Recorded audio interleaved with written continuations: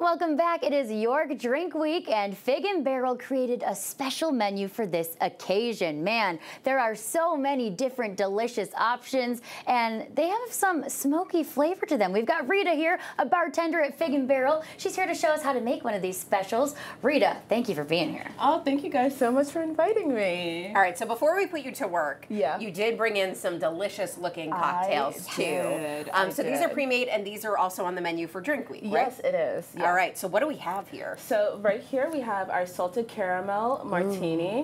We have our figure me out, which includes fig, fig infused vodka, um, some egg whites, and uh, vanilla ube syrup. And then we also have our pumpkin spice infused espresso martini. Ooh, and people love espresso martinis Uh, too. yeah. They are obsessed. Pumpkin Pumpkin spice, spice? infused. Oh, Yeah. that's gonna be. Yeah. That's It's gonna. banger. You're gonna be busy That's gonna that be one. popular. sure. And can you show us, can you make one for us and tell us what you're gonna make? Of course. So this is the campfire marshmallow. Um, it includes uh, Old Forester bourbon, some marshmallow syrup, which is made mm. in house, by the way, guys. Oh, there you go. Yeah, and some Ardbeg scotch, a couple dashes there, and then let me grab some ice real quick. Sure. I mean, this already se- seems like a fall flavor. You're talking Oh, yeah. campfire. Oh, you're yeah. getting, yeah, love this stuff. So oh, many Oh, yeah, different for options. sure. Here, I can just stir it up for you guys real quick. And what gives it the smoky flair? Oh, we'll get to that Oh, okay. a so we have our drink right here. And then our smokiness comes from these pecan wood chips. Ooh.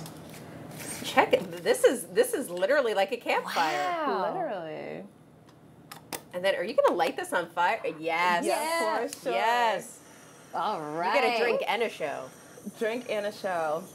Ooh, oh, that's smoky Mm. flavor. Oh my gosh, how that looks awesome. Yeah. That looks absolutely awesome. Um, that is cool. So this is gonna now. Is this just on the menu for Drink Week, or do you think it's gonna last after that? Um, well, I wanted to get into that Fig and Barrel is also launching their fall cocktail menu soon. Ooh. So hopefully some of these drinks are here to stay and some are just for the week. Fabulous. So you gotta you gotta go to Fig and Barrel. You gotta Yeah. you gotta get the you gotta get a flight. You gotta get a DD, and then you get the flight. Right. Right? DD, yeah, sure. And then you got to tell them, hey, this is the one that needs to stay on the menu. But that, ooh, a little little fire, why not? Right, and if somebody's watching right now, they want to know where you're located, easiest way to find you.